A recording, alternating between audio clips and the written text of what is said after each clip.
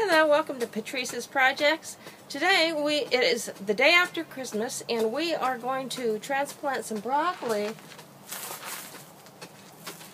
right here that I had grown in my garden room.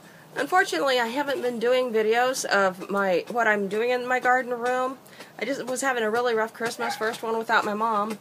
So, um, anyway, I'm going to take off in a few days, and these need to be watered every day. So, even if I put my lights on timers, the broccoli is not going to get watered. I also have a couple Brussels sprouts that we'll probably be putting in too. I don't have much space though, and behind me, my son is uh, preparing the soil. And so he already pre-dug this several days ago. I put some compost on there. Christmas came, and it just so it just kind of sat. And like I said, we have to take off in three days, so we need to get this stuff done. The temperatures have been pretty agreeable. Unfortunately, today is a very sunny day, and for the last four days, it's been perfect overcast weather for transplants. But here we are. So I'll show you what uh, where we're planting it and how we do it. So right here near the fence that shadows everything all morning, um, we're going to put in as many as we can. I've got 12 in the little um, pack that I just showed you, and then four more broccoli and two Brussels sprouts. So what I'm thinking is I'm going to stagger them to give ultimate space uh, for them to grow. The closer they are, the smaller the broccoli crown, but I've never been able to do it well anyway. And here's another little patch we prepared. And then I'm going to go back there behind the trellis and put a little bit more compost and get that going too. So those are the locations I'm putting them. So right now Ian is leveling it out so that when the drip line is on there, it's going to um, watered evenly instead of all the water going down into the valleys or dips in the soil. Uh, we do have a pretty good slope here, so regardless of that, we're going to do the best we can to try and get the water to all the plants. So the reason I'm doing this in December as opposed to in early spring, I've done early spring before and because we live in California, we go from winter right into summer. We have a few spring days here and there spotted in. So I figured they're cold weather crops. We hardly ever get freezing temps.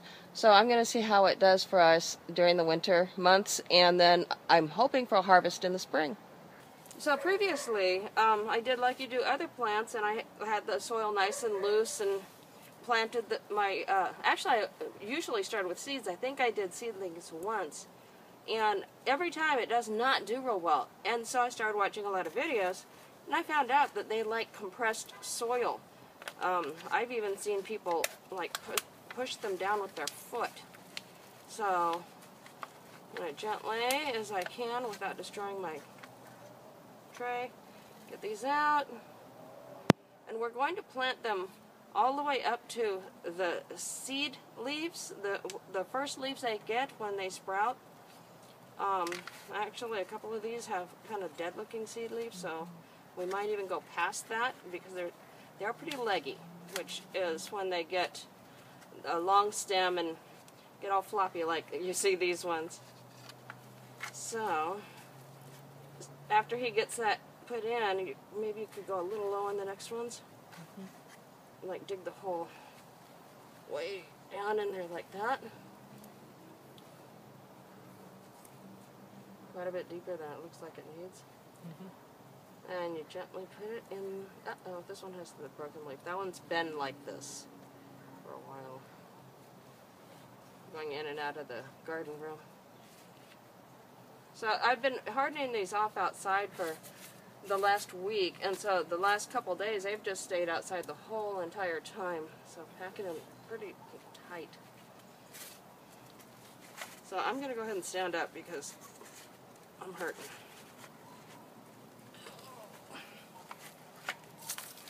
And this one happens to have two in it just because they were so close when I separated these into this tray.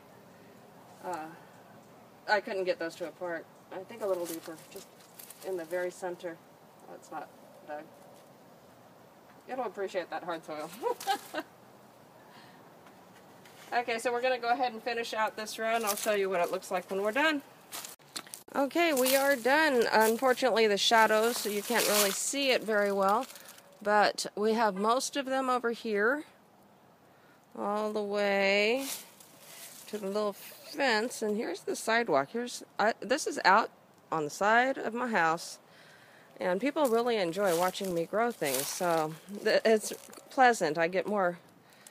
Uh, I get to know my neighbors better this way. And here's where this the two Brussels sprouts are right here, and then the last three broccoli are right there, and then my jalapeno that's still producing. Can you see the red peppers on there? Right there. And my strawberries, some of them are still producing. I still have carrots.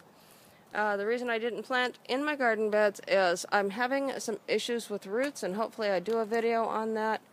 With this bed, my son and I had to dig all the way down to the bottom, and this is a 16 inch deep bed.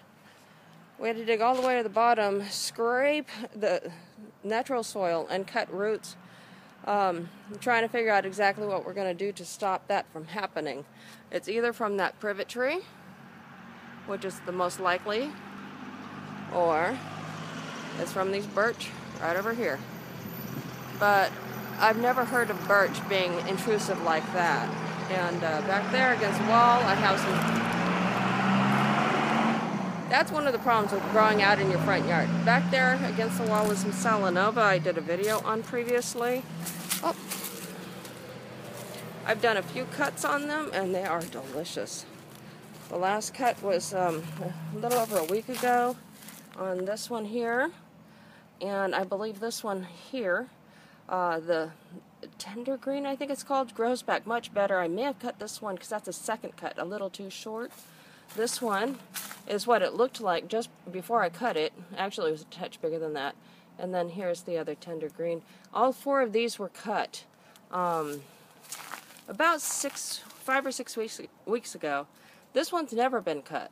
I take the bottom leaves off to use, but I'm trying to grow that one and get it to bolt and get some seed same with this one over here. And it looks uh, like it's just going to keep growing beautiful salad, but there's another little curlicue growing right here because they get this rose looking thing going on. I'm hoping it's getting ready to bolt. And uh, this one has had a first cut as well as that. And that had a first cut before. Uh, and this little one down here. Um, it's delicious. It, I mean, it's tender, it's green, and it keeps super well. So I'm hoping to be able to get lots of seed to share. That always happens when I'm filming. I go off on a tangent. So anyway, thank you for joining me here in the garden. I do appreciate it. If you haven't yet subscribed, go ahead and do that now. And then click the bell so you get notifications of my upcoming videos. I'd appreciate that. I'll see you next time.